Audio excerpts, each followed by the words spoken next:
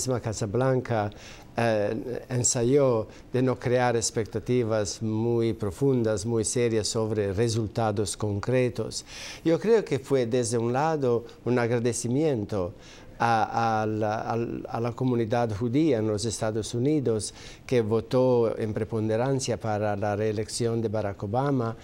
pero que expresó durante los primeros cuatro años de su presidencia su preocupación por las relaciones bastante frías entre el presidente Obama y el primer ministro Netanyahu. Así que yo creo que en ese sentido es una expresión de agradecimiento y para, digamos, eliminar este, este malentendido, digamos, este, esta posibilidad de fricción con la comunidad judía en los Estados Unidos um, por parte del presidente. Ya que ahora nos está acompañando desde Herzliya, Israel, vía telefónica, el doctor Eli Carmón, investigador antiterrorismo de IDC.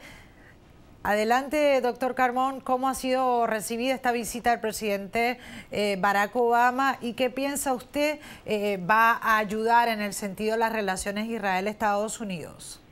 Eh, buenos días, Patricia.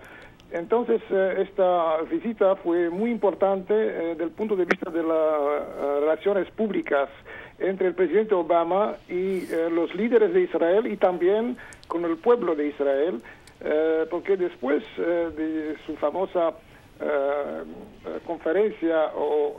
en Cairo de 2009 y también la crisis que hubo en las relaciones con el primer ministro Netanyahu, se pensaba que después de la segunda elección el presidente Obama será más duro con Israel y con los dirigentes israelíes. Eh, justamente esta visita fue excepcional en el sentido que tanto el presidente eh, como también eh, los, los israelíes, los líderes y el pueblo recibieron el presidente de manera, de manera muy, muy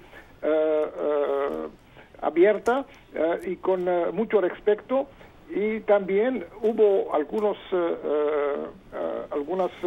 eh, charlas del eh, presidente, principalmente eh, con los estudiantes israelíes, 1.500 estudiantes, en el cual se expresó su